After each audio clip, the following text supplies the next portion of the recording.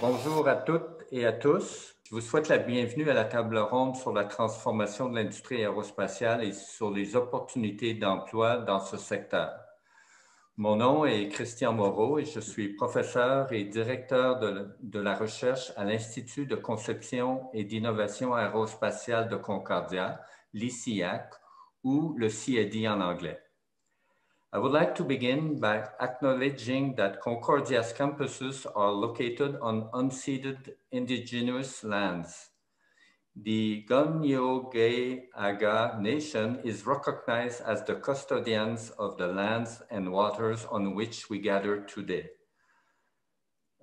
Joe J. Gay ou Montréal est historiquement connu comme un lieu de rassemblement pour de nombreuses Premières Nations et aujourd'hui une population autochtone diversifiée ainsi que d'autres peuples y résident.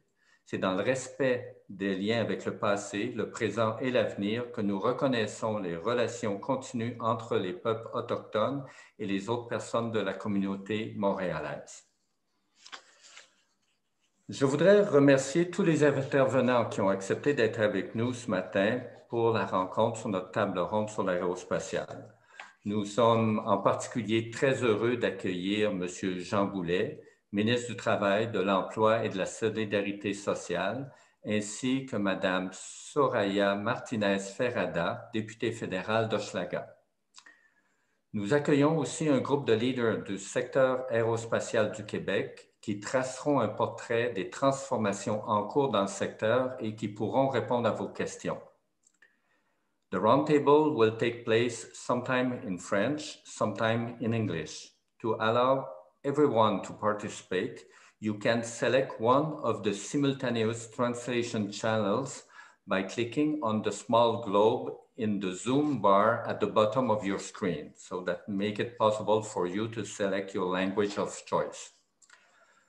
La rencontre d'aujourd'hui est organisée par l'ICIAC euh, ou, le, ou, en collaboration avec nos partenaires de choix, soit Aéro Montréal et les Instituts aérospatiaux de Montréal. Nous collaborons étroitement avec Suzanne Benoît et son équipe d'Aéro Montréal sur de nombreux projets reliés à la formation de la main-d'œuvre et à l'innovation, et ce depuis de nombreuses années. Merci pour cette collaboration, Suzanne. Les Instituts aérospatiaux de Montréal sont un, partenaire, partenariat entre six universités du Québec fortement engagées en aérospatial, soit Concordia, l'École de technologie supérieure, McGill, Polytechnique Montréal et les universités de Sherbrooke et de Laval à Québec. At CIAD, in collaboration with our key partners, we work to globally promote and strengthen aerospace research and education in Quebec.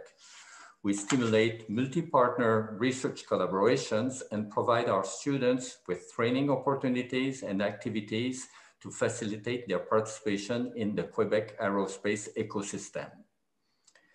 La rencontre de ce matin est enregistrée et sera accessible ultérieurement sur les réseaux sociaux. La table ronde se déroulera en trois parties de 30 minutes environ chacune. Dans le premier segment, nous aurons de courtes allocutions de nos invités d'honneur. Ces allocutions seront suivies de la table ronde avec nos six panélistes experts. Finalement, durant la dernière demi-heure, nos panélistes répondront aux questions que vous pourrez poser sur la plateforme Zoom. I would like now to invite uh, Dr. Paula Wood-Adams to say a few words. Paula is Interim Vice President Research and Graduate Studies, and she's strongly committed to support aerospace activities at Concordia. So Paula. Thank you very much, Christian. Good morning, Monsieur le Ministre Boulet, Member of Parliament, Maria Martinez Ferrada, Dr. Carr, and distinguished panelists. Bonjour et bienvenue à cette table ronde qui nous réunit autour du thème de l'aérospatial, une des forces avérées de Concordia, autant en enseignement qu'en recherche. Nous proposons à la fois une baccalauréat et une maîtrise en génie aérospatial.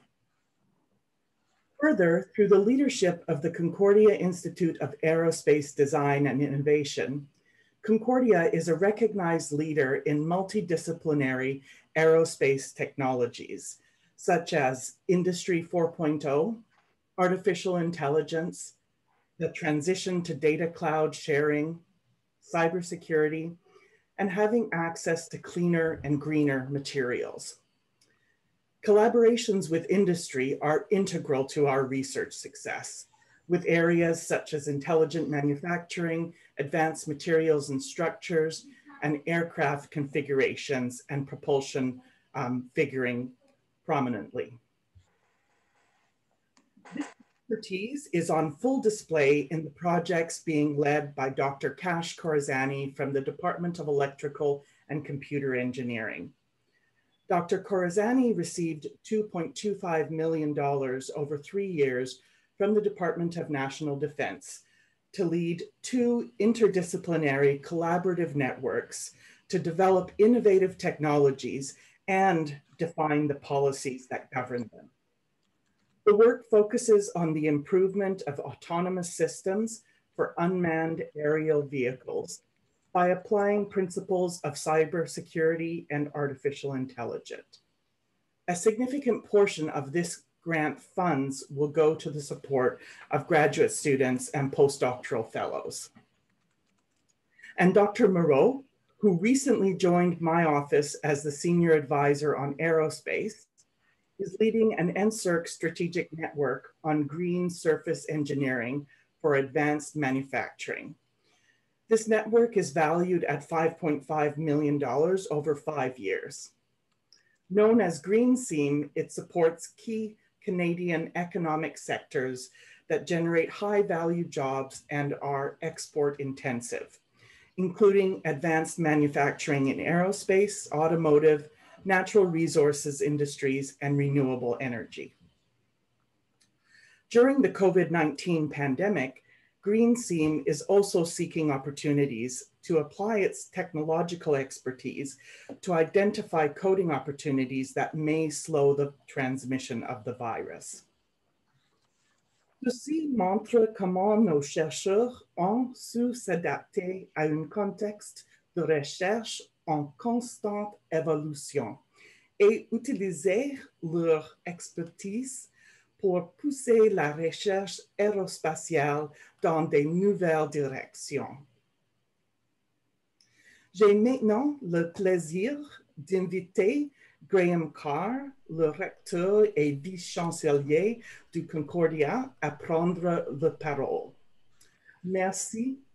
Thank you. Alors, merci à Paula, merci Christian et merci à vous toutes et tous uh, de vous joindre à nous uh, ce matin.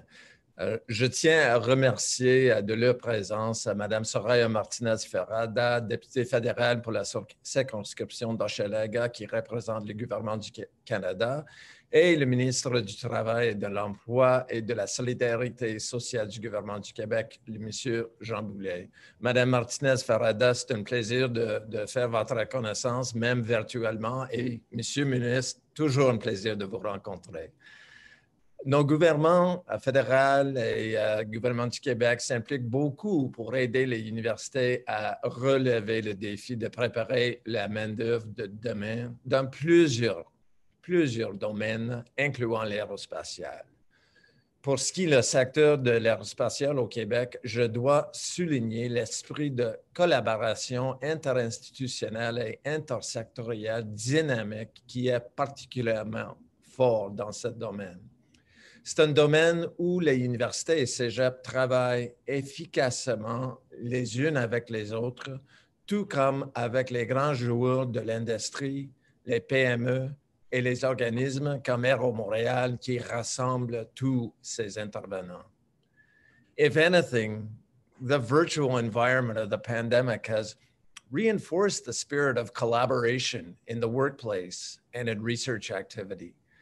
While studying in the virtual environment, students like you are gaining valuable skills for jobs of tomorrow by learning how to work, how to network, and how to collaborate remotely.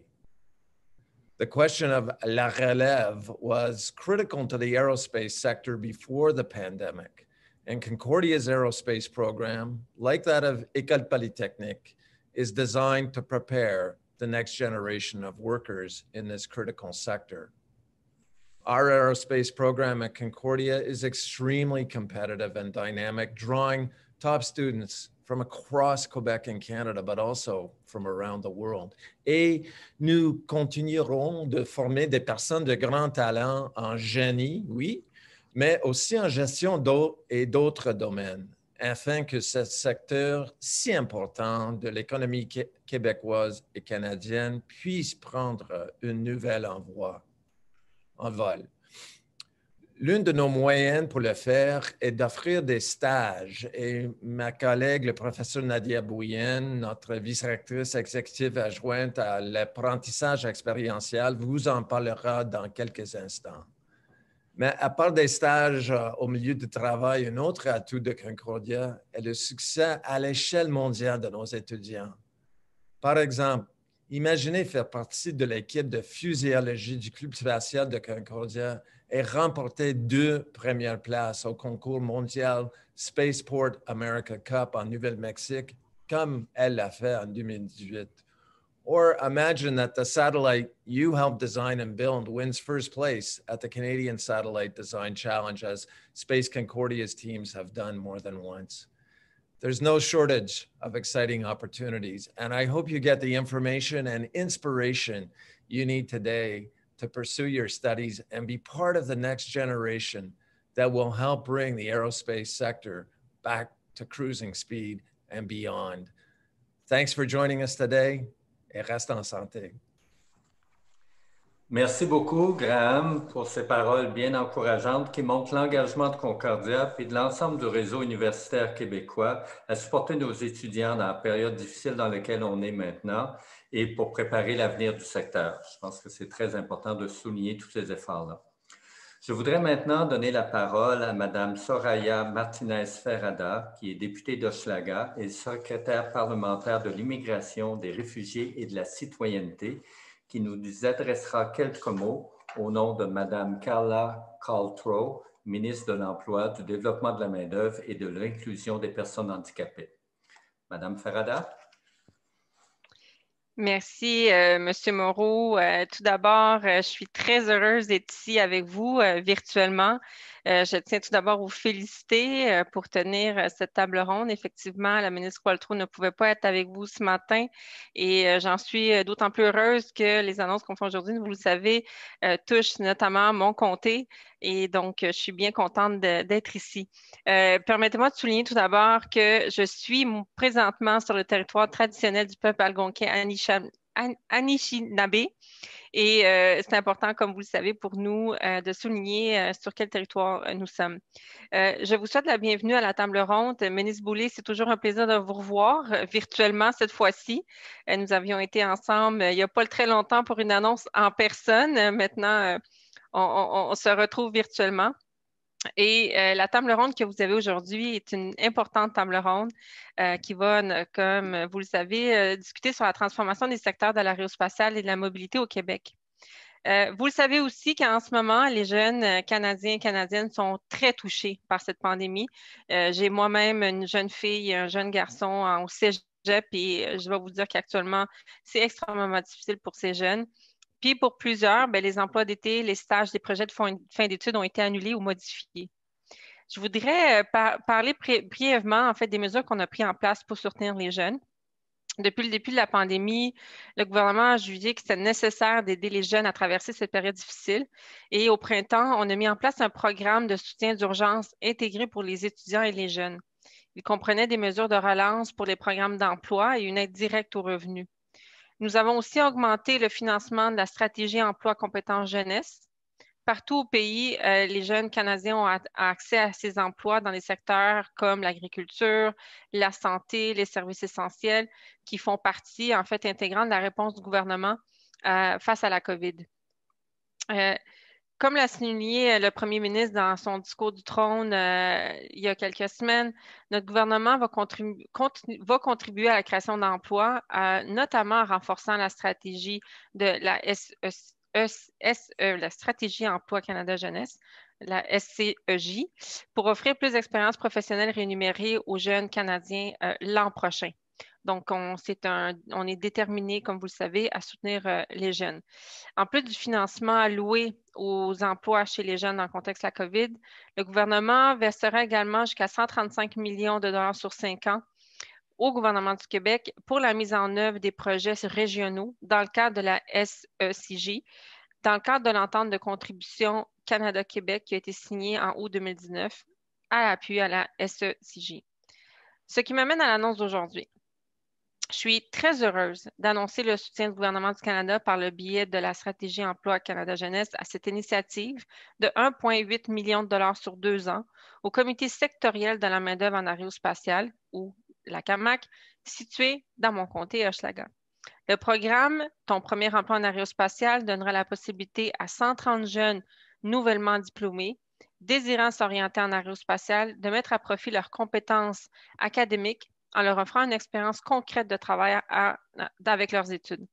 À plus long terme, ce projet aidera les jeunes à faire la transition vers le marché du travail actuel et futur en aérospatial. Je tiens vraiment à féliciter le comité sectoriel de main-d'œuvre en aérospatial pour ce projet qui incarne l'objectif de la stratégie emploi et compétences jeunesse d'améliorer la transition vers le marché du travail. Et comme on le sait actuellement euh, et dans la relance économique, ça va être un enjeu extrêmement important. L'incertitude qui ressentent beaucoup de jeunes Canadiens est vraiment accablant. Au Canada, nous veillons les uns sur les autres. Puis moi, j'aimerais vraiment féliciter la CAMAC et tous les partenaires euh, qui ont fait une différence dans la vie de centaines de jeunes. Et je vous remercie encore euh, pour cette table ronde productive et j'espère réussie. Et vous pouvez toujours compter aussi euh, sur moi comme une de vos alliés dans ce secteur extrêmement important pour l'économie du Québec. Merci. Merci beaucoup, euh, Madame Farada, pour euh, vos, bons mots et les bonnes nouvelles que, vous nous annoncez. Nous sommes maintenant très heureux d'accueillir Monsieur Jean Boulet, ministre du Travail, de l'Emploi et de la Solidarité sociale et ministre responsable de la région de la Mauricie. Monsieur Boulet est un ardent défenseur promoteur du développement de la main-d'œuvre au Québec dans tous les secteurs importants et en particulier dans le secteur aérospatial. Monsieur le ministre, je vous invite maintenant à vous adresser à l'ensemble de nos, participants ce matin. Merci. Euh, bon matin tout le monde. Euh, j'aimerais saluer Suzanne Benoît, qui est PDG d'Aéro Montréal, que vous connaissez bien, Nathalie Paré, euh, du comité sectoriel de main-d'œuvre dans le domaine aérospatial, Soraya Martinez-Ferrada, encore une fois, un plaisir de te revoir, comme tu le soulignais, virtuellement, mais quand même, on aura d'autres opportunités de se rencontrer en personne. J'aimerais aussi saluer M. Graham Carr, que j'ai rencontré de l'Université Concordia, et à chaque fois, je réalise à quel point cette université est euh, en communion directe avec les besoins du marché du travail au Québec, au Canada et partout sur la scène internationale. Bon, vous savez, on est en contexte pandémique, c'est une situation exceptionnelle. L'aérospatiale subit des contre-coups particulièrement important. Il y a d'autres secteurs d'activité économique. Ce qui est un peu particulier après la pandémie, c'est qu'on voit se côtoyer un phénomène de chômage dans certains secteurs et il y a d'autres secteurs qui sont en pénurie de main-d'œuvre. Euh, il y a eu une baisse drastique, bien sûr, des voyages aériens. Ça, ça nous a saisi.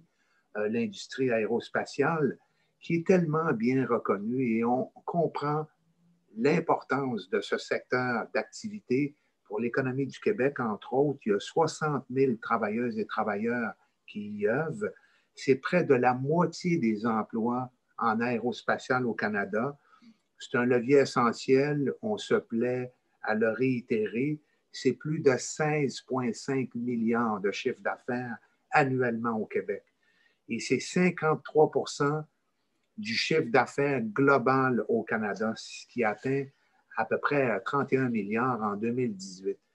Euh, donc, il faut trouver des moyens de se dépenser, comprendre l'importance euh, du bassin de main-d'œuvre que constituent les jeunes, c'est, selon moi, un incontournable, pas seulement social et économique, mais aussi au plan humain.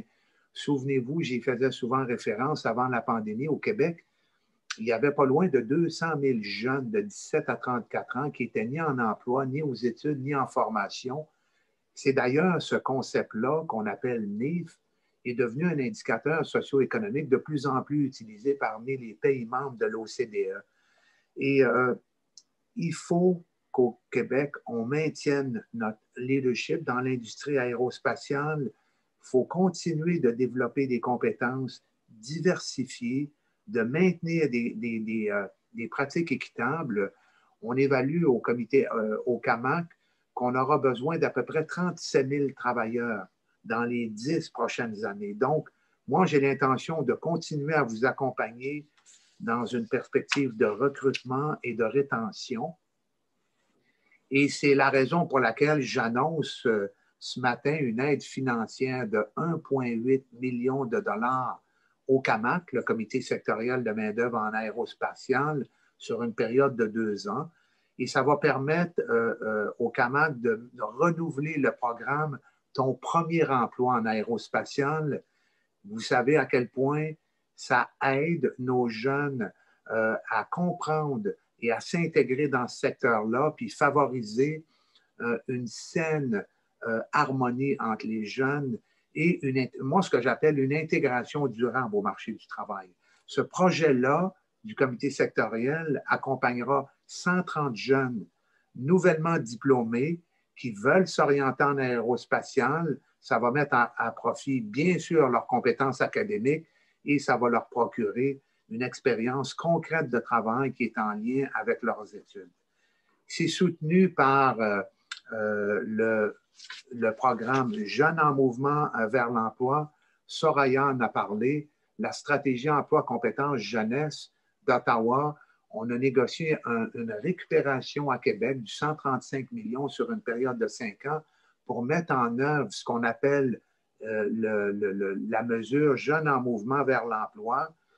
Ça permet de mettre en œuvre des idées novatrices pour mobiliser les jeunes de 15 à 30 ans en complémentarité, bien sûr, avec l'offre actuelle de services publics d'emploi partout sur le territoire du Québec.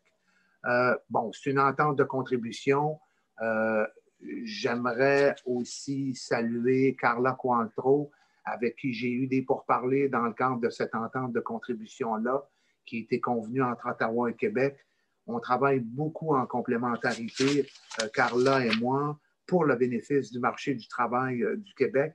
Il y a aussi l'aide financière pour le projet Ton premier emploi euh, en aérospatial. C'est important.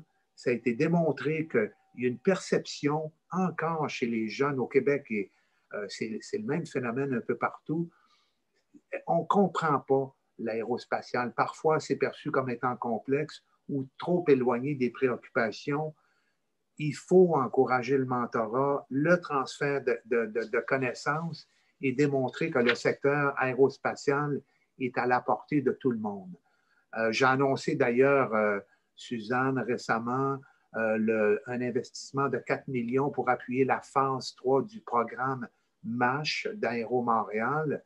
Et cette aide-là va aussi permettre de poursuivre l'initiative qui contribuera à ce que près de 1, 1500 travailleuses et travailleurs de l'industrie rehaussent et développent leurs compétences. Donc, euh, pour compléter, souvenez-vous, on a fait un forum le 16 octobre. Je suis un, fervent partisan du dialogue social.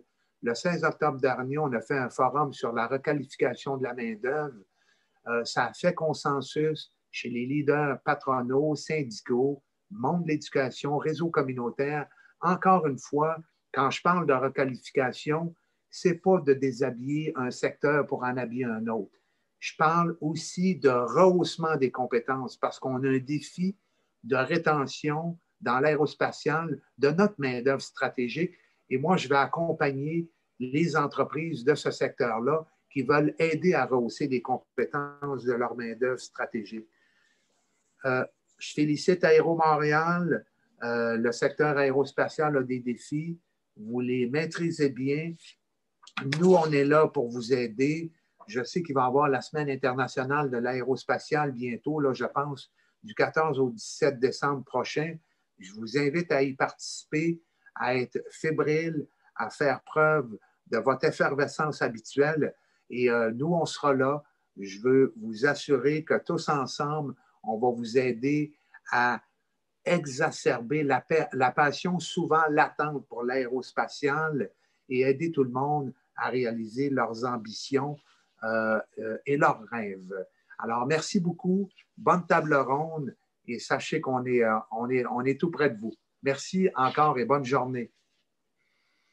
Merci beaucoup, Monsieur Boulet, ministre. je pense que votre élocution est très stimulante. C'est des bonnes nouvelles que vous nous annoncez. On, voit un alignement des ressources au Québec pour soutenir les jeunes et avec la collaboration fédérale provinciale assurément, mais aussi avec tous les intervenants, c'est-à-dire, vous avez mentionné Aéro Montréal, CAMAC, et puis je peux vous assurer aussi que les instituts aérospatiaux de Montréal, Concordia et toutes les autres universités, on travaille très fort aussi pour stimuler la participation des jeunes dans le secteur aérospatial, de les encourager à intégrer cet écosystème-là en leur fournissant non seulement supportant des stages avec l'industrie, avec nos partenaires industriels, mais aussi en développant un écosystème ou des activités complémentaires au programme euh, académique ou universitaire en tant que tel pour vraiment bien préparer les étudiants pour qu'ils puissent intégrer efficacement le marché du travail. Donc, euh, je vous remercie infiniment pour votre allocution ce matin. Je remercie aussi euh, Mme Martinez Ferrada pour, je dirais, cette, belle annonce conjointe-là. Je pense que c'est de bonnes nouvelles pour tous. Merci. Merci bien. OK. Euh, à cette étape-ci, on va passer à notre deuxième segment de notre table ronde avec nos panélistes. Euh, on a six panélistes ce matin qui se sont joints à nous. Nos six panélistes euh, sont, visibles maintenant. To the second part of this roundtable discussion. Je voudrais vous présenter nos six panélistes. D'abord, euh, Madame Suzanne Benoît, qui est présidente directrice générale d'Aéro Montréal. Bonjour, Bonjour. Bonjour tout le monde. Euh, ensuite, euh, M. Sylvain Larochelle, directeur du Bureau de collaboration technologique à Pratt Whitney Canada. Bonjour, Bonjour à tous. Euh, M. Michel Dion, directeur principal innovation chez Bell Textron Canada. Bonjour tout le monde. Madame Hélène Gagnon, vice-présidente Affaires publiques et communications mondiales à CAE. Bonjour tout le monde. Bonjour. Euh, professeur Nadia Buyan, Vice Provost Partnership and Experiential Learning at Concordia. Bonjour tout le monde. Et euh, professeur Éric Laurando, professeur et responsable du programme Génie aérospatial à Polytechnique Montréal. Bonjour à toutes et à tous. OK, maintenant, on va, euh, pour tous les participants, je vous invite à poser vos questions en anglais ou en français en activant le bouton QA euh, sur euh, la plateforme, sur la barre euh, de Zoom en bas de votre écran. Donc, durant toutes les discussions du panel, vous pouvez activer, poser vos questions et on va répondre à ces questions-là dans le troisième segment de la, de la table ronde de ce matin. Euh, ma première question s'adresse à Suzanne. Euh, pourrais-tu nous dire quelques mots sur les forces du secteur aérospatial québécois et sur son positionnement à l'échelle internationale? Alors, euh, merci beaucoup, Christian, euh, de m'inviter ce matin. Je pense que c'est une belle occasion de rejoindre les jeunes universitaires. Il y a aussi des gens des collèges qui sont là. Alors, vous savez, moi, euh, l'industrie aérospatiale, c'est tatoué sur mon cœur. Alors, ça fait maintenant depuis 2006 que, je dirige Aéro Montréal. Donc, euh, euh, je m'excuse pour mes collègues qui connaissent bien euh, la grappe, mais pour les jeunes qui nous écoutent, ce que je peux vous dire, c'est que l'industrie aérospatiale, c'est une industrie stratégique, névralgique, ici au Québec, au Canada, et tous les pays dans le monde rêvent d'avoir une industrie aérospatiale. Notre grappe, en fait, il y a trois mots que je retiens pour la grappe aérospatiale, comme on dit en anglais, le cluster. Alors, c'est qu'on a, euh, on est structuré, on est très diversifié, puis on est concentré aussi. Alors, quand je dis structuré, c'est qu'on a des grands joueurs dans le secteur aérospatial. Vous les connaissez probablement, Bombardier, Airbus, Pratt Whitney, CAE, Bell Hélicoptère et plus récemment Mitsubishi. Alors, les Japonais ont acheté une division de Bombardier pour faire euh, l'entretien des avions euh, régionaux. Alors, ces, grands joueurs-là mobilisent toute une chaîne d'approvisionnement et on a à peu près 215 PME. Alors, quand j'ai dit, bon, structuré, ensuite, j'ai dit diversifié parce qu'à Montréal, on a des capacités industrielles qui nous permettent vraiment de fabriquer un avion de A à Z. Alors, si vous entrez dans ce secteur-là, euh, vous avez le choix. Vous pouvez travailler dans le domaine de l'entretien, dans la construction d'avions, faire des trains d'atterrissage, des, euh, systèmes critiques pour des avions, etc., plus du logiciel. Alors, on a des gens aussi très qualifiés sur les chaînes de montage, alors des, gens de métier qui connaissent bien euh, ce qu'ils ont à faire, puis on est capable de faire voler des avions au Québec, au Canada. Alors, on a eu des, beaux exemples avec Bombardier, puis plus récemment, ben, Airbus euh, continue la construction des avions. Euh, euh, ces séries, l'Airbus 220. Alors, ce pas toutes les nations dans le monde qui peuvent faire voler des avions. Et ça, c'est grâce à l'innovation euh, aux universités, l'écosystème. Et l'écosystème est concentré. Alors, ce que je veux dire, c'est que dans un rayon de 30 km, vous allez retrouver 97% euh, de toutes les industries aérospatiales à Montréal, dans le Grand Montréal, les universités, les centres de recherche et tout le monde travaille ensemble dans cette proximité. Alors, c'est ça qui fait vraiment euh, une grande force euh, pour notre industrie. Alors, ça, ça décrit en grand, dans les grands mots euh, le secteur et comme de raison, des stages, des, beaucoup de stages, les grands joueurs. Et là, de plus en plus, les PME aussi vont permettre aux jeunes de faire plus de stages dans notre secteur. On sait que la situation n'est pas idéale à l'heure actuelle, mais on va peut-être en reparler un petit peu plus tard. Alors, à toi, euh, Christian. Merci. Comment tu vois la relance de l'industrie qui est particulièrement frappée euh, maintenant, puis les possibilités d'emploi à court et à moyen terme? Puis en particulier, je dirais, on, a quelques grandes entreprises qui sont avec nous ce matin, en particulier les PME. Comment tu vois la situation pour eux, les, défis qui sont en face des PME, des possibilités d'emploi aussi pour nos étudiants? Oui, ben avant la pandémie, euh, malheureusement, euh, j'ai dû me déconnecter. J'ai eu un petit problème tout à l'heure, mais le ministre en a sûrement parlé. C'est qu'avant la pandémie, on était en pénurie de main-d'œuvre. On devait combler 37 000 postes. Euh, on a fait des campagnes, on a travaillé avec le CAMAC, avec l'École nationale d'aérotechnique et plusieurs écoles, dont l'École des métiers, les MAM à Montréal, pour euh, que les jeunes s'inscrivent dans le secteur aérospatial. Et ça fonctionnait très bien, mais là, la pandémie est arrivée. Et là, le danger, c'est que les gens voient que notre secteur est vraiment en difficulté. on ne se cachera pas, les avions ne volent pas, donc euh, on ne peut pas livrer des avions de compagnie aérienne. Donc, euh, toute la chaîne est impactée. Et vous l'avez vu, le tourisme, les hôtels, alors tout ça, ça se tient. Et tant que ça ne reviendra pas à la normale, ça va être on, fonctionne à 50, 60% en général. Il y en a, ceux qui sont dans le domaine de la défense sont plus actifs, euh, fonctionnent à presque 100% Mais il y a un problème actuellement, c'est clair. Et nous, ce qu'on souhaite, c'est que les jeunes continuent à s'intéresser au secteur aérospatial parce que ça prend quatre ans, des fois cinq ans faire son cours de génie, euh, s'ils font beaucoup de stages, etc. Donc, ce qu'on dit là, c'est que si euh, nous, on est sortis, on est résilient, on est sortis de plusieurs crises. Hein. Il y a eu la crise du 11 septembre, euh, plus récemment la crise financière, la pandémie, mais l'industrie aérospatiale a rebondi tout le temps. Alors, on va revenir à la normale dans trois ans et ce qu'on dit aux jeunes, c'est inscrivez-vous dans les programmes.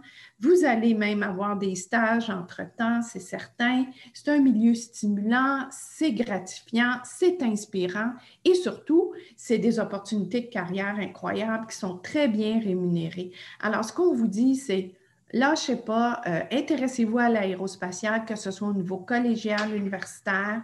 Il y a des beaux défis. Puis quand vous allez graduer, euh, on, va, on va être sûrement revenu euh, à la normale. Alors, euh, c'est mon message ce matin. Et les PME, comme de raison, les PME, vous m'avez posé la question, les PME sont aussi en difficulté parce qu'ils dépendent des grands joueurs, des avionneurs, etc. Mais euh, on travaille très fort, on travaille très fort avec le CID pour justement développer euh, des stages dans les PME. Puis ça, le ministre Boulay est très conscient de ça. Il faut en faire plus dans les PME. Il faut qu'il y ait une émulation au niveau de l'innovation, du savoir-faire des étudiants qui peuvent faire grandir les PME d'un point de vue euh, euh, technologique. Alors, il y a beaucoup de possibilités, puis on va sûrement retourner aux, 34 000 ou 37 000 postes à combler dans 3-4 ans. Merci beaucoup. Ben, super. Merci beaucoup, Suzanne. Prochaine question, c'est pour Sylvain. Oui. Euh, bonjour, Christian. Bonjour. La décarbonisation de l'aviation, c'est un enjeu crucial auquel on doit s'attaquer. Il n'y a aucun doute. La on a la crise de la COVID maintenant, mais les enjeux de carbone, c'est là encore, puis ça va être là encore pour les prochaines années, assurément. Comment l'industrie voit-elle le futur de la propulsion d'aéronefs pour faire face à cet enjeu global? Bon, alors écoute, euh, évidemment, c'est un sujet très passionnant, euh, euh, Christian. je dirais, si on commence par positionner le contexte mondial, on sait qu'avant la pandémie, il y avait une croissance des émissions environnementales associées à l'aviation point de vue mondial de façon très importante. évidemment, la pandémie a créé une baisse, mais comme Suzanne l'a mentionné il y a quelques instants, de toute évidence, on rêve au jour où, effectivement, le vaccin va être distribué, on va pouvoir recommencer à voyager de façon importante. Donc, si on regarde euh, certaines prédictions au point de vue de l'Organisation de l'aviation civile internationale, qui d'ailleurs est basée à Montréal, euh, ben, les émissions en CO2, entre autres, pourraient tripler au niveau euh, de l'aviation mondiale. référence 2019, donc ces, émissions-là pourraient tripler d'ici 2050 ce qui va carrément, évidemment, à l'encontre de l'accord de Paris pour ce qui est de la réduction des émissions. Maintenant, compte tenu de ce contexte-là, de la croissance mondiale, bien, de toute évidence, il y a un changement de paradigme majeur qui s'impose. Un changement au point de vue de l'injection de technologie, euh, et non seulement aux technologies propulsion, mais dans l'ensemble, le design d'aéronefs et compagnie. Euh, des améliorations opérationnelles pour idéalement avoir des parcours optimisés, euh, avoir le temps en vol le plus court possible. Aussitôt que les avions euh, se mettent en, en marche sur le tarmac, ils doivent décoller le plus rapidement possible et évidemment ce genre de choses-là. Et le troisième point, la considération de carburant alternatif. Donc, évidemment, du côté propulsion, ce troisième changement de paradigme-là nous touche directement. Qu'est-ce qu'on entend par euh, carburant alternatif? Bien, essentiellement, il y a trois catégories, si on veut, euh, euh, de carburant alternatif ou de, je dirais, de, niveau d'énergie pour la propulsion des aéronefs. Premièrement, évidemment, les carburants d'aviation durable, mieux connus en anglais sur Sustainable Aviation Fuels. et à l'intérieur de ce groupe-là, il y a des catégories on connaît très bien déjà les biocarburants, donc carburants euh, euh, générés à partir, euh, si on veut, de matières premières qui pourraient compétitionner l'industrie alimentaire. Donc, évidemment, ce n'est pas une, solution viable à, long terme. Il y a des biocarburants alternatifs au niveau peut-être générés à partir d'algues et compagnies qui ne compétitionnent pas avec le niveau alimentaire. Et finalement, la notion de carburant synthétique, de plus en plus aujourd'hui, on voit la capture de CO2 euh, avec, combiné avec de l'hydrogène pour créer ce qu'on appelle des carburants synthétiques. En anglais, il y a l'acronyme PTL, Power to Liquid, qui ouvre la porte justement à cette nouvelle génération, euh, si on veut, de carburants d'aviation durable. Donc ça, ce premier volet-là est clairement à l'étude en termes de niveau de maturité technologique. C'est probablement un des premiers éléments de solution viable pour justement de la propulsion alternative. Le deuxième, ben, on est tous conscients de la propulsion électrique. Euh, il y a des défis énormes au niveau de densité de puissance, densité d'énergie au niveau des batteries. Et c'est vraiment à ce niveau-là que des recherches doivent continuer à, progresser, euh, parce qu'aujourd'hui, seulement certaines sections d'une mission euh, entre décollage, altitude et, atterrissage sont, propices, si on veut, à l'utilisation d'énergie électrique. Finalement, la troisième catégorie de carburants alternatifs, on regarde l'utilisation de l'hydrogène, soit directement comme carburant dans les turbines ou via l'utilisation de, piles à combustible, donc de fuel cell, comme on appelle en anglais.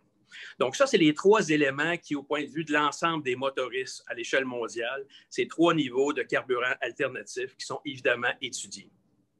Où on en est avec tout ça? Bien, évidemment, on en est principalement à l'étape de recherche et de démonstration de la viabilité technologique de ces carburants-là.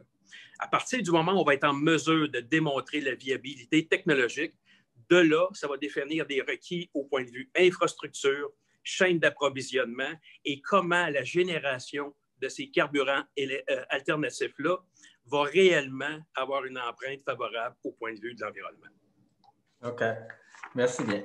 Uh, due to the pandemic, companies in the aerospace sector have had to cut jobs, not only in production, but also in engineering and also in other functions. Could you tell us about the employment prospects in a company like Pratt Whitney Canada for the coming years in that context? So, so for Pratt, which is very representative of the whole sector, so I will characterize essentially the whole sector in terms of employment. Well, as Suzanne pointed out earlier, uh, aerospace has been through crisis before. As always, you know, uh, uh, it came back from those crises in many cases stronger than prior to, to these crises. So I don't see this pandemic as any different. Obviously, the depth of the crisis is extremely important for the aerospace sector, considering uh, you know restrictions from a boundary uh, uh, uh, uh perspective and, and enabling uh, passengers to travel across the, the, the world. So clearly, this it's not a matter of if, it's a matter of when the recovery will happen. So prior to the pandemic, we were facing significant uh, succession and hiring challenges as a whole industry. Now, as we are, you know, going over this pandemic in the midst of it right now, there are many elements that are impacting strategic drivers in our sector. The whole notion of decarbonization, which I've just spoke about, is somewhat you know, even more sensitive today now that we realize the impact of pandemic. So, so, so that's certainly something uh, uh, of major consideration. Many of us are currently working from home. So the work organization, the work environment is definitely being uh, impacted today. I've referred to a lot of technology infusion, not only in, in the uh, you know assets, in aircrafts and the like, but also in the way we manage data.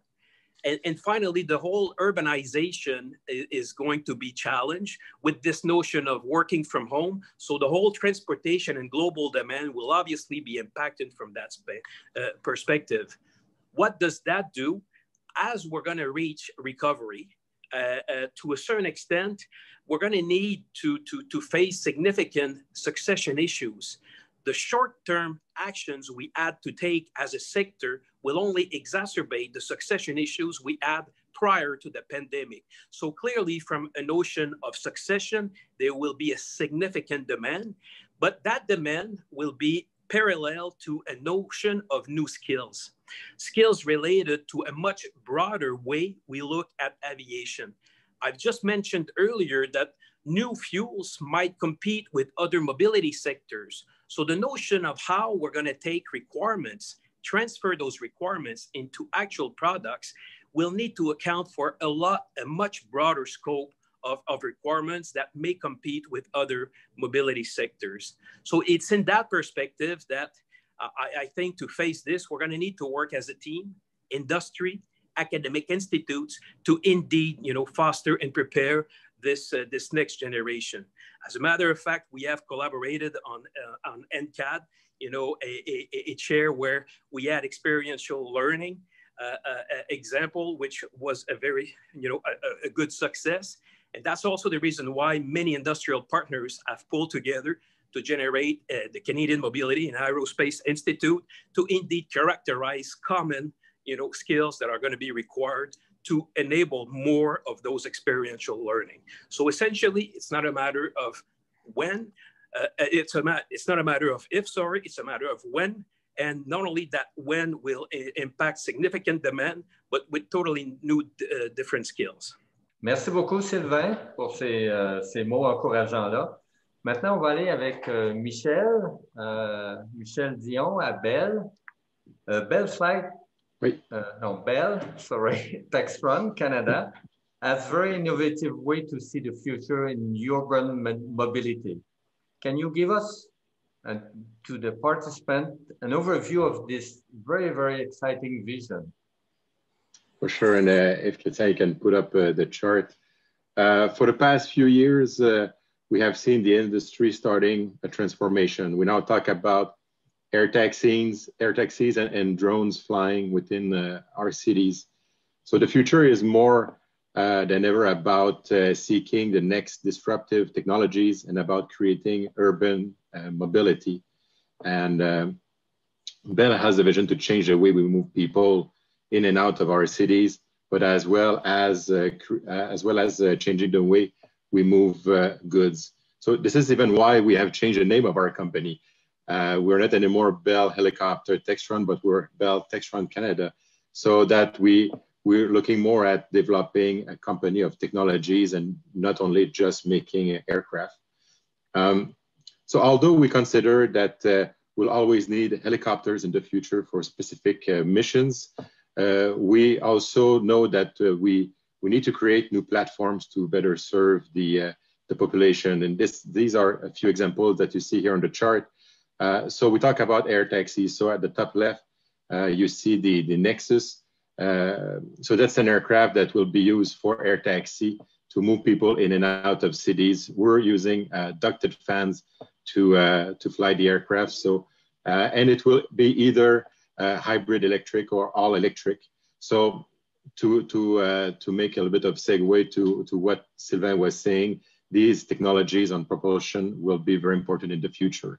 Why we're going ducted fan, uh, uh, we, we talk about uh, this, the safety around the aircraft, but as well as reducing the external noise, because in the future, the social acceptability will be very important for introducing these new aircraft into our uh, mobility systems. Uh, we also talk about uh, drones, drones to move goods. So you see um, at the bottom left one example of drone that we have developed and, and uh, built and we're flying in, up in Mirabel, but also you see uh, top right, the app, the autonomous pod transport. So this is a platform that, that we're developing and, in, um, and developing technologies in Mirabel in collaboration with uh, academic institutions and, uh, and, and industry and the idea is to move goods, for example, from the Mirabel Airport up to downtown Montreal. So flying over the Highway 15 in a much efficient way and uh, in a cheaper way than when I see uh, FedEx and UPS trucks uh, being stuck in the traffic uh, on, on the highway. We can also think about uh, moving organs from hospital to hospitals and also uh, supporting the, the, the communities up north. So this kind of aircraft is unique because it's a, we call it a tail sitter. It can uh, take off like a helicopter vertically and will make a, a, transition to an airplane mode flying on the wing and, and to have range and, and, speed. So if you go on, on, on YouTube and internet, you'll find some uh, some good videos of, of the APTA flying. And just to give you an idea also of what we do uh, in Mirabel, you have at the bottom right this is a full-scale ducted fan for Nexus that we have tested uh, in the wind tunnel at uh, the NRC in Ottawa.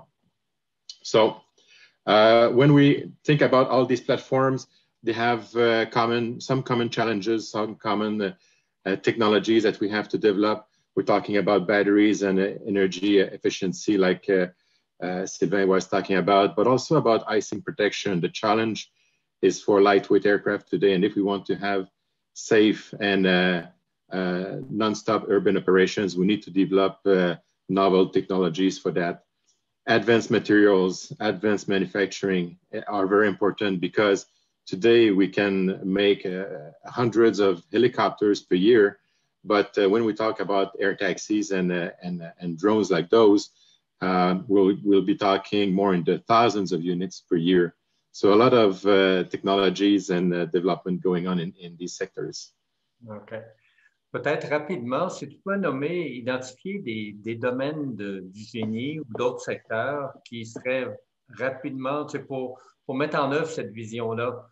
Bon, tu as parlé des matériaux, mais il y, a, il y, a, certainement du génie électrique. Ou pourrais-tu juste rapidement nommer les principales euh, disciplines auxquelles tu peux penser qui pourraient être attrayantes pour euh, les étudiants qui voudront rejoindre puis vraiment participer à cette, euh, cette vision-là qui est très stimulante?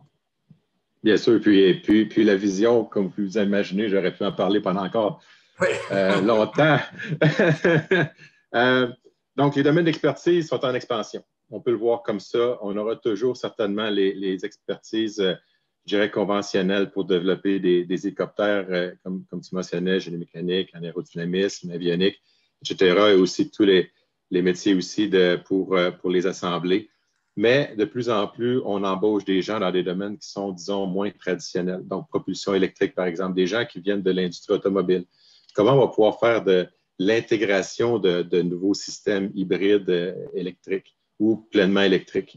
Euh, on, pense aussi à l'intelligence artificielle pour euh, gérer les flottes euh, de drones, de, taxis aériens, mais aussi pour nous aider dans le développement de ces véhicules-là. Le génie industriel aussi, pour justement nous permettre d'avoir des, transformer nos, lignes d'assemblage pour permettre la, construction de milliers d'unités par année. une chose à dire, c'est que, et puis c'est là, moi je trouve que, c'est très intéressant, l'avenir, c'est que il y a moyen dans, l'industrie euh, aéronautique de développer une expertise poussée, et ce sera toujours le cas, mais c'est aussi euh, une, industrie qui est en, qui est en train d'offrir de plus en plus d'opportunités. Et puis, dans mon équipe d'innovation, par par exemple, ce que je dis souvent, c'est vous avez avec un bagage technique qui est une expertise qui représente environ 80% de ce que vous allez faire dans une journée. Et l'autre 20% je vous encourage à aller développer une nouvelle expertise ou à aller apprendre de nouvelles connaissances. Par exemple, j'ai des gens aujourd'hui qui sont des gens de structure à la base, des gens de fatigue, qui aujourd'hui s'intéressent à l'acoustique, s'intéressent à la propulsion électrique. Euh, notre, euh, notre chef pilote de drone est un ingénieur en hydraulique, par exemple.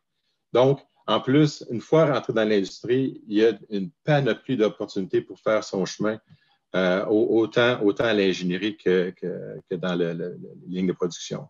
Et si je pouvais juste conclure, c'est pour euh, là-dessus, c'est de dire, moi, je pense qu'on est euh, chanceux et chanceuse présentement de vivre à, cette époque-ci. Ce n'est pas toutes les générations qui ont la chance de participer au développement de nouveaux systèmes de transport. Et les taxis aériens et les drones qui vont voler à l'intérieur des villes, comme on, comme on, le conçoit, ce sont des nouveaux moyens de transport. Et puis, c'est une opportunité qu'on a d'y participer. Puis, j'encourage tout le monde là, qui, qui, nous écoute aujourd'hui à venir se joindre à nous. Merci, beaucoup, Michel. Encore là, pour euh, la, vision est vraiment euh, très, très euh, stimulante. Maintenant, on va passer à Hélène CAE. J'aimerais, Hélène, comme on sait, le contexte de CAE est sensiblement différent de celui des, des grandes entreprises manufacturières ou des PME.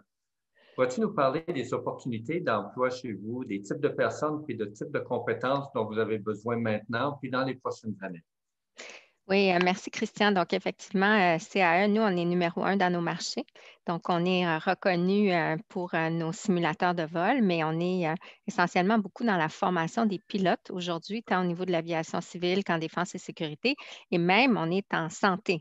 Donc, on a des gens qui passent d'une business à l'autre, si on veut. Donc, ça, c'est très intéressant. Puis, malgré ce qu'on voit dans la COVID aujourd'hui, on peut se dire, mon Dieu, c'est tellement, tellement grave comment la COVID a affecté l'aviation, mais on a publié nos prévisions de marché parce que nous, notre clientèle, c'est beaucoup les pilotes. Et puis, euh, on s'attend à ce qu'on ait besoin encore, malgré ce qui se passe présentement, de 260 000 nouveaux pilotes dans les dix prochaines années et 27 000 l'année prochaine. OK? Puis ça, c'est dû à cause des retraites et tout ça. Donc, euh, des fois, il faut voir un petit peu plus loin que ce que le portrait qu'on nous, euh, qu'on nous montre dans les médias. Donc, euh, oui, il y a moins de monde dans les avions, mais à chaque fois qu'il y a un avion qui vole, même si c'est juste du cargo dedans ou quelques personnes, ça prend des pilotes formés. Donc, nous, notre marché, il a vraiment tombé au début de la pandémie, mais c'est en train de, de remonter passablement. Donc, nous, on voit vraiment beaucoup de dans tous nos marchés pour les prochaines années. Puis je pense qu'on va en parler là, dans quelques minutes aussi. Moi, j'avais envie de vous parler aussi des autres fonctions parce que là, jusqu'à présent, mes collègues ont beaucoup parlé de l'ingénierie. Puis effectivement, nous, on a 2000 ingénieurs là, à Montréal. Donc, c'est sûr que c'est très important, les ingénieurs pour l'industrie aérospatiale. Mais il ne faut pas oublier qu'il y a énormément d'autres types d'emplois qui sont disponibles dans notre industrie et qui sont aussi stimulants. Donc, je pense à toutes les fonctions de, support, tous les gens qui sont en, finance, en comptabilité, euh, les avocats, les gens en ressources humaines, en relations industrielles, en communication, en approvisionnement, euh, en opération, euh, pour gérer des gens, nouveaux manufacturiers, tout ça. Donc, il y en a des opportunités dans d'autres domaines aussi que l'ingénierie, il ne faut pas l'oublier.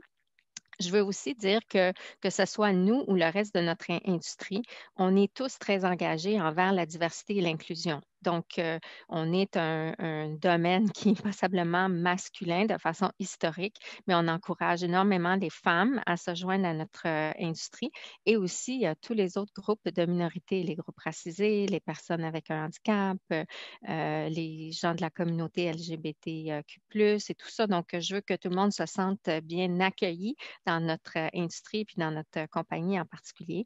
Ce qu'on recherche essentiellement, c'est des gens qui ont un bon travail d'équipe qui ont une passion, qui ont une, qui ont une énergie, qui ont une curiosité intellectuelle, qui ont une rigueur.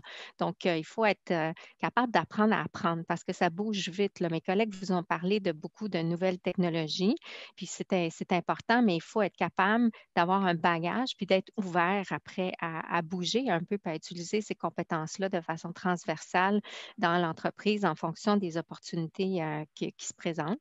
Puis, on va rechercher des gens aussi qui sont alignés avec nos valeurs. Donc, nous, on on a annoncé qu'on était la première entreprise canadienne à devenir carboneutre. On l'est devenu euh, euh, au début euh, octobre. On est très fiers de ça. Et on s'est engagé aussi, nous, les gens ne savent pas, mais on a une flotte d'avions, de 250 petits avions dans nos académies de pilotage.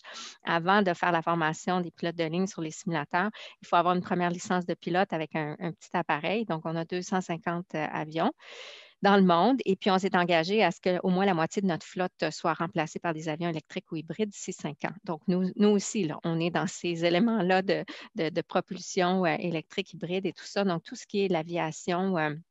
Durable. C'est très important pour CAE, mais aussi pour d'autres, euh, pour tout le monde dans l'industrie. Donc, euh, on sait que ça, je pense que c'est quelque chose qui est, important pour la jeune génération. Puis, il ne faut pas avoir peur de joindre à notre industrie. On est très aligné avec, euh, avec ces valeurs-là de protection de l'environnement. Puis, on compte sur vous pour venir nous pousser encore plus loin, encore plus vite dans ces domaines-là.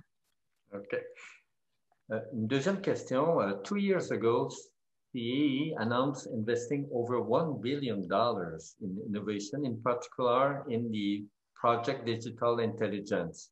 Can you tell us more about that project? Is it still running uh, and how students can get prepared to embark in such a I would say, very exciting uh, project. Yeah, well, absolutely. And, and yes, of course, it's still running because we announced it uh, two years ago. It's a five year project, and we said we'd invest a billion dollar in digital intelligence. And our intent is to revolutionize the way pilots are trained, defense forces are trained, and healthcare professionals are trained. So we put together what we call a digital accelerator. Already, we have more than 200 employees uh, working in the digital accelerator, and we have people like data scientists uh, and uh, artificial intelligence uh, specialists, customer experience specialists. So people that, you know, we didn't even know they existed, you know, five years ago, and now we have 200 of them. Um, and so the idea basically is to always start with the customer in mind. So we look at the customer pain points and uh, we determine how we could improve their life, in our case, their training, uh, through digital tools. And so that's how it starts. And uh, through multidisciplinary teams, basically, we uh, invent those new tools, but in a matter of weeks. It goes very, very fast through an agile methodology. We focus on the customers, we develop what we call an MVP, a minimum viable product, and then we change it, we modify it, we iterate it um, very, very quickly. If it doesn't work, fail fácil. Put it aside, you know, go on another project. So it's very, very exciting. So there you need to um, make sure that you have um, an ability to uh, to undertake a lot of work, but to work under um, under speed also because that that's part of it, and to have that customer mindset, which is really crucial for that type of uh, of uh, project. And we need good leaders to be part of uh, these types of uh, projects. So yes, we have a lot of engineers that uh, lead these projects, but we have IT experts, pilots, instructors. I mean, they have various ba backgrounds again. And I want to say that despite COVID, and of course, COVID impact uh, impacted our industry and our company also severely, especially in the, in the first few months, but we're continuing to invest massively in everything that is digital. So digital is the future. You've heard some of my colleagues um, talk about uh, remotely piloted uh, aircraft. So we don't like to call them drones because most of the time they're pilots, but they're um, on the ground and uh, it could be artificial intelligence that will be uh, in there. But I mean, a lot of people would be involved in making sure that uh, uh, these eVTOL fly, for example. So there's a lot of interesting technologies, whether it's electric aircraft, hybrid aircraft, all kinds of things that are coming up in our industry. And despite what you see, despite what you read in the papers, you need to be confident that we have um, a super interesting uh, industry that most countries would love to have. We're so lucky to have that right here in Montreal and uh, uh, just jump on that bandwagon and come and join us. We're waiting for you. OK, merci beaucoup, euh, Hélène. Très stimulant encore là comme vision. Nadia, so uh, how is Concordia equipped now for, now we move towards a university perspective, you know, what university can uh, do for improving or to, to, to prepare the uh, students to, to a career in aerospace. So can you tell us what Concordia is doing in that spirit? Sure. So um, thanks, Christian. So we have a, a number of academic programs that uh, are for students who are interested in pursuing a career in the aerospace industry. Uh, we have a Bachelor of Engineering in Aerospace. Um, that's a four-year program uh, that has three options that students can specialize in. Um, so at first they take engineering um, fundamentals, aerospace engineering fundamental courses, and then uh, they can select an option. So uh, they can select uh, aerodynamics and propulsion if they're interested in learning more about how uh, an airplane flies. Um, they can select aerospace structures and materials if their interest in is more in how an airplane is uh, designed and manufactured or if they're more interested in um, learning about how electronic systems can be used to, uh, to control or navigate planes or to communicate on an airplane or for, for planes to avoid collisions, for example, um, they can select the uh, avionics and aerospace systems option. Um, at the end of this, uh, or in the final year of this program, students do a final year capstone project um, on aerospace. So this is, uh, they would be involved in a multidisciplinary team and they'd be working uh, or interacting with industry on a real hands-on project. Um, one of the programs that is unique to Concordia that uh, Sylvain had uh, mentioned earlier in terms of experiential learning is our aerospace apprenticeship program, um, which is really an amazing program this is a program that's open to all students. You don't have to be in the aerospace program. Um, you would apply in your first year, and if you get accepted, you end up working um, for all the three summers with an aerospace company, paid, of course. Um, and in the first year, uh, or in the first summer, you would be uh, going through an eight-week intensive boot camp at uh, l'École Nationale d'Aérotechnique, which is, uh, or l'ENA, which is a technical school on the South Shore. Um, it's an amazing uh, facility. It's um, it has you know 35 labs. I think it has over 25 airplanes and 11 helicopters. And so students are really intensively uh, developing a lot of interesting skills uh, and working in those labs. Um, so, so that's an incredible program that students ha um, have access to.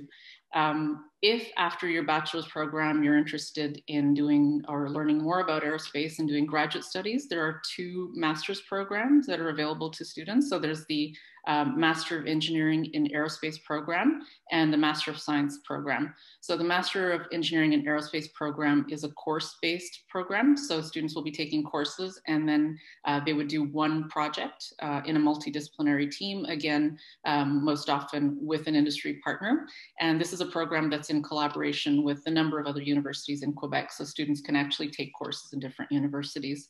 Um, or if they're interested in pure research, they could take the Master of Science program. Um, and uh, we have uh, over 60 professors at the university who are doing some form of research in the aerospace industry. And Paula had mentioned the different research thematics that, uh, that are available at Concordia beyond the academic programs, I think Concordia offers an amazing uh, uh, sort of a panoply of different training opportunities for students. So um, in addition to the apprenticeship program and the boot camps that I mentioned, uh, we have an Institute of Cooperative Education that offers uh, a number of different um, types of internships to students. So if students are interested in the traditional co-op program, which is alternating academic uh, term with a paid work term in the aerospace industry. Um, that's, uh, that's an opportunity that's available to them. If they want a sort of a less structured program, um, the Co-op Institute offers uh, a program called C-EDGE, which is short for Career Edge. This is a one internship program, so students can take a single internship in the aerospace industry. Uh, there's another program called ACE, uh, Accelerated Career Experience, which is a 16, a 12 to 16 month internship that's done with a, an industrial partner. Um, that's usually reserved for the top students. And of course, they'd have to extend their program by a year. Um, uh, and then there, we just launched recently uh, Women in Engineering Career Launch Experience. So this is a four month internship for, um, uh, for female students. Um, they would get an industry mentor. Uh, a few years ago, we uh, partnered with École Polytechnique to offer our students uh, uh access to LESIAC, which is, uh, which is a lab where there's an actual airplane minus the fuselage, but all the hydraulic, electric, and electronic systems are still there, and students get to um, go and experiment and learn about aerospace technologies as, uh, as part of their classes. Um, so above and beyond um, these types of things, CIADI has, uh, has been offering many opportunities uh, for, for developing skills uh, um, such as CATIA, um, leadership and agility in the aerospace industry, um, learning about business fundamentals in conjunction with our business school. Um, and then the industry, eh, while they love the fact that our students have great technical skills, they will always tell you that the soft skills are really critical. So communication skills, learning to work in teams, being flexible and adaptable. So at Concordia, we have through our Student Success Center, a program called Future Ready, where we offer these types of workshops free of charge to students uh, really pretty much around, uh, around the year. So that's available to them. Um, and then in addition to that, we have amazing student societies that uh, are, are, I think Graham uh, mentioned a few of them that are very active and very successful and give um, students really the opportunity to work on real life projects and then to compete. So we have Space Concordia, uh, UAV Concordia. We have a student chapter of the uh, Canadian uh, Space and Air, uh, Canadian Aeronautics and Space Institute. And then beyond that, again, you know, CIADI offers um, students many opportunities to do networking with the industry through conferences, seminars, speaker series, uh, and so on. So I think overall, uh, our academic programs, our training and networking opportunities really give a fantastic uh, um, experience and prepare students for the aerospace industry. OK. Merci beaucoup, Nadia. Maintenant, on va passer à Eric, notre dernier panéliste, mais pas le moindre. Bonjour, Eric. Euh, en tant que directeur de programme du génie aérospatial à Polytechnique, quelles sont les stratégies que vous utilisez afin d'équiper les étudiants pour bien les préparer pour une carrière en aérospatiale?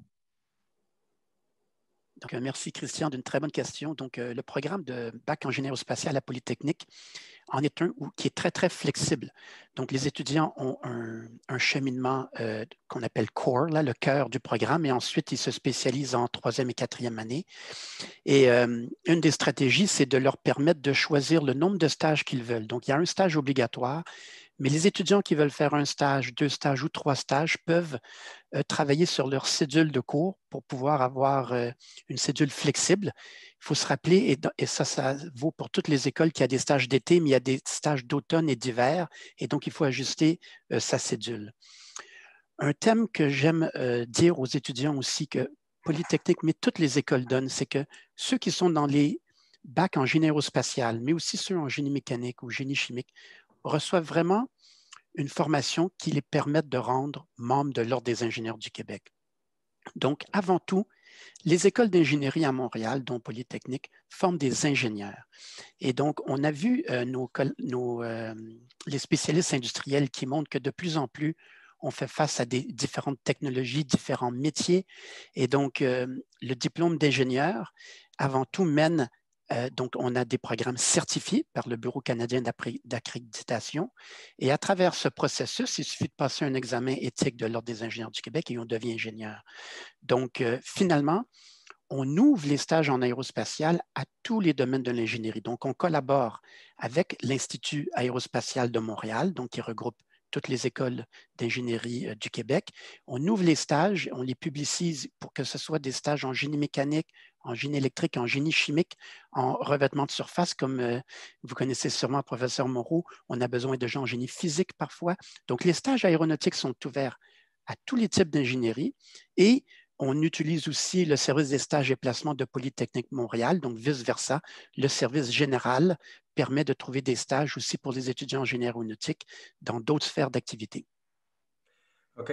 Rapidement, parce qu'on est un petit peu tard, pourrais-tu nous parler un peu, euh, est-ce que, d'après toi, c'est un bon moment maintenant pour joindre, pour les étudiants, pour euh, euh, entreprendre ou poursuivre des études dans le secteur d'aérospatial ou des, des, des disciplines qui, qui sont utiles pour l'aérospatiale? Donc, euh, à propos des études supérieures, n'est-ce pas? Oui, à propos des oui. oui so, uh, talking about graduate studies, I'll switch to English because it's a very broad community.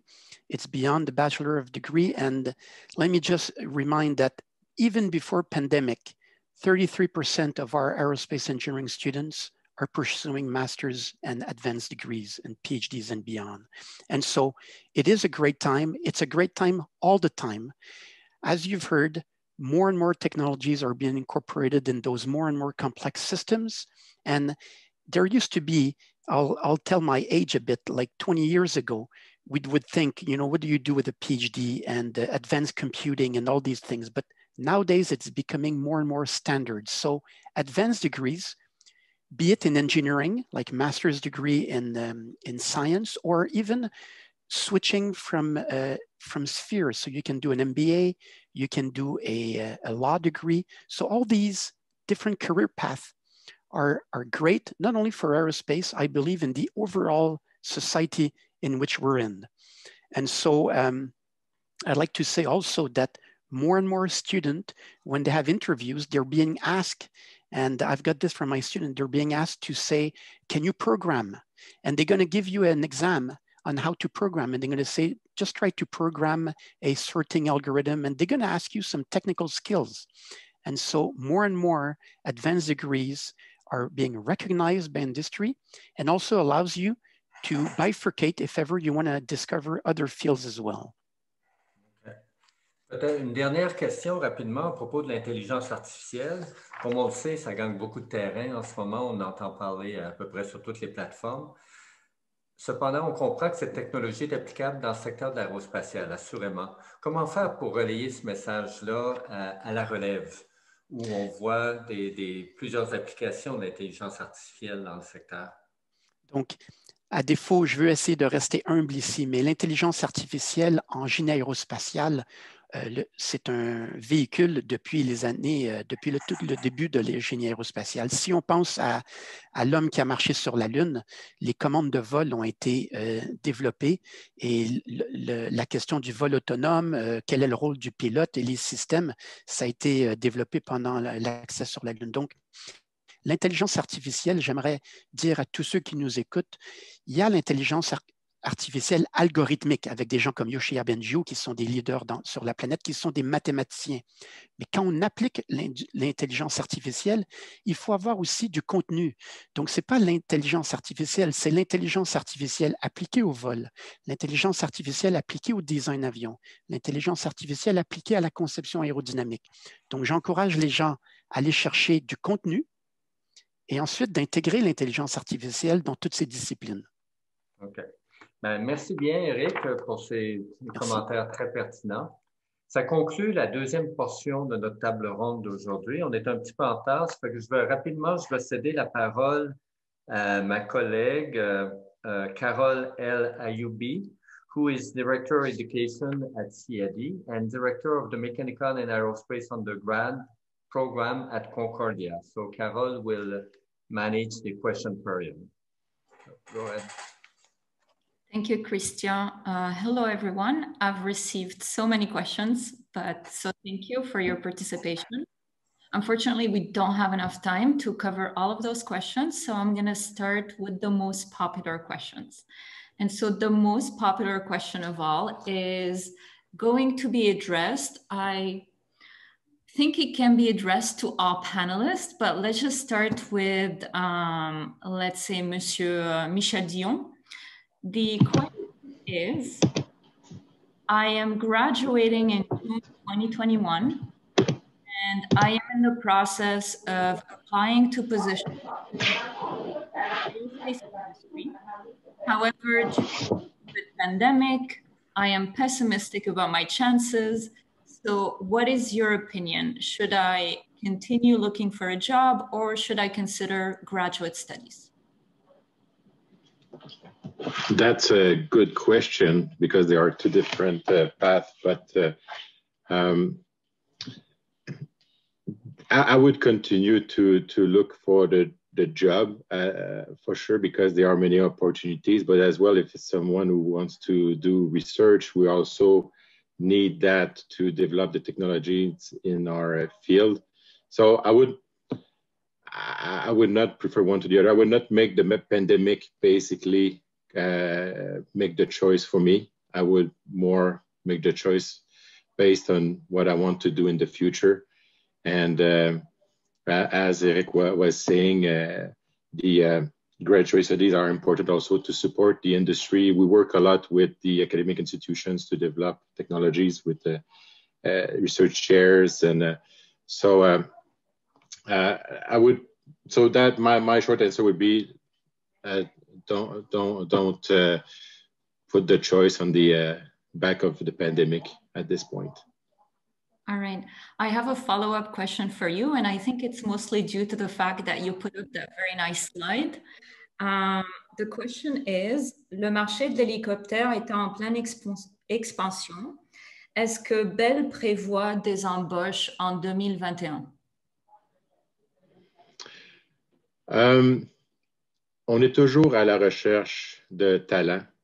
Euh, je ne peux pas dire nécessairement combien présentement, mais on est toujours en, recherche de talents. Donc, euh, oui, certainement, j'encourage les gens, à regarder notre, site web pour, euh, et pas seulement celui de Bell, mais aussi celui des, de, tous mes collègues euh, de l'aérospatial, à, regarder les postes qui, sont ouverts parce que oui, c'est un, un, domaine quand même qui va continuer à, à évoluer malgré le fait qu'on a la pandémie. Parfait, merci beaucoup. La prochaine question est adressée à Madame Hélène Gagnon. Madame Gagnon, vous avez parlé du fait euh, que vous encouragez l'inclusivité, la diversité au sein de votre compagnie. Comment est-ce que vous travaillez en fait pour attirer une plus grande diversité euh, au sein de votre entreprise? Bien, une des choses qu'on a mis en place, c'est ce qu'on appelle euh, des Employee Resource Groups. Ceux qui sont familiers avec la diversité vont, vont connaître ça. Ce sont des groupes de ressources pour les employés qui se regroupent, dans le fond, en fonction de leur intérêt commun. Et euh, ces groupes-là euh, vont nous aider à être plus ouverts et inclusifs avec les gens de l'extérieur aussi. Donc, par exemple, on a un groupe euh, ressources d'employés pour la communauté LGBTQ+, puis ce sont des groupes mondiaux, hein, pas seulement Montréal, donc qui vont nous aider à dire, OK, comment est-ce qu'on peut parler de ce qu'on fait, de l'ouverture qu'on a envers cette communauté-là chez CAE. On a un groupe femmes et aviation, on a un groupe pour les parents avec des enfants avec des besoins spéciaux.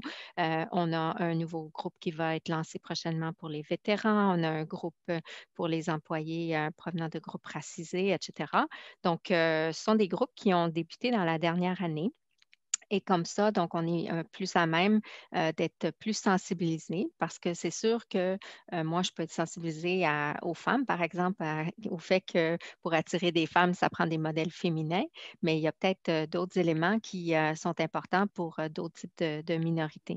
Donc, ça ne se fait pas du jour au lendemain, mais il faut être capable d'aller voir le bassin de population au sein de la population étudiante des différents groupes de minorités et de leur parler d'une façon qui leur ressemble et qui voient qu'ils sont vraiment les bienvenus. Il ne faut pas que ce soit seulement des paroles, il faut montrer aussi euh, des actions et de la progression à ce sens-là. Chez CAE, ça fait deux ans maintenant qu'on a fait ce qu'on appelle le euh, Bloomberg Gender Diversity Index. On avait commencé à vraiment se euh, avancer un peu plus en diversité au niveau des femmes. Et puis, donc, on fait partie de cet index de Bloomberg avec 230 compagnies au monde qui sont le plus engagées en matière de diversité euh, au niveau du genre. Donc, euh, on a mis l'emphase au départ sur cet aspect-là. Puis maintenant, on est en train vraiment de, prendre plus d'action avec d'autres groupes. Donc, c'est une action à long terme, mais le fait d'en parler, d'avoir des groupes de ressources d'employés, puis d'avoir des forums comme aujourd'hui qui permettent de dire aux étudiants, aux étudiantes euh, de, tout groupe confondu, vous êtes les bienvenus au sein de CAM, vous êtes les bienvenus au sein de l'industrie aérospatiale, au sein de l'ensemble des entreprises. Mais déjà, de se le faire dire, ça aide de dire j'ai envie d'aller travailler chez vous. Parfait. Merci beaucoup, Madame Yannou. Euh, la prochaine question, ça en va vers Monsieur Sylvain Larochelle. What do companies look for when hiring interns? We understand that soft skills are very important, but then how do you demonstrate that you have soft skills on your CV or during an interview?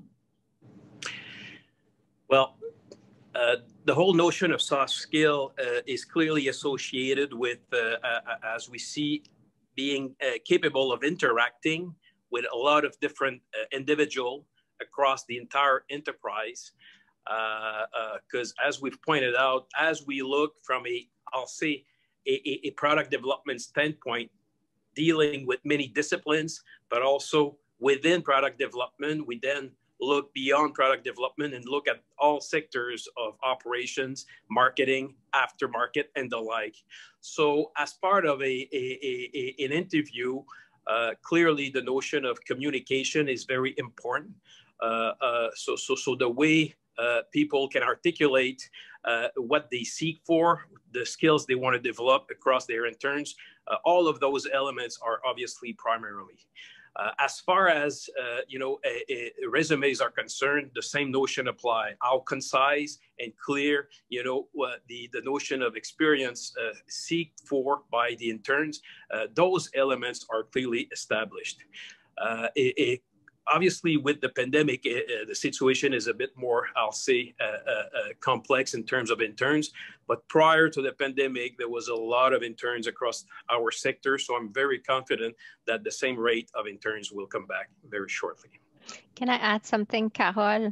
I think uh, what uh, Sylvain said, and being a uh, VP in communications, it's all about communications. I had to say it, but um, you have a lot of opportunities as a, as students to develop your communication skills, um, your ability to work um, uh, as a team. So you could do, you know, practice yourself and do a lot of the uh, presentations in front of groups, feedback, not only from your professors, but from your colleagues about your ability to work in, uh, in a team and also to communicate because as uh, Sylvain said, it's very important. And so during an interview, you'll be, uh, you'll be tested on those, uh, on those skills, but you have a lot of opportunities in your studies to, to um, strengthen those skills, but you should uh, make sure that you develop your scientific competence, but also your behaviors and your communication skills and teamwork skills for sure, leadership.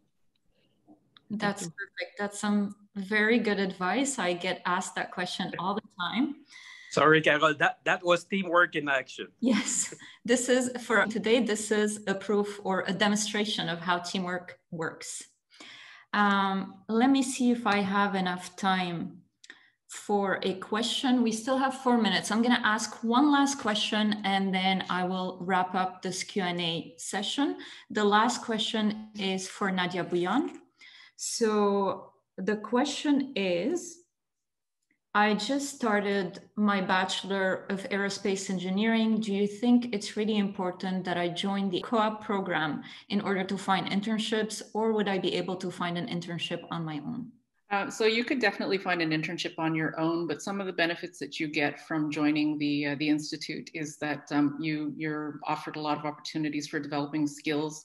Um, there's there are a couple of courses that you get to take that help you with your reflection abilities. Um, they provide you workshops on communications, on uh, on how to prepare for an interview, how to how to write up a CV. So there are a lot of additional supports that you get by uh, by um, uh, uh, registering to the co-op program. But again, it's it's really up to you. You can find an interview on, uh, sorry, an internship on your own. It's just that you get a lot of additional support when you're in the uh, the co-op institute. All right, great, thank you. Um, before I end this, I just see one more question that looks very important because I get asked that a lot as well. Um, how important is being able to speak French um, to get a job in the aerospace industry in Quebec. So I don't know. We can we can ask that question to all of the panelists and see who has uh, something to say about this.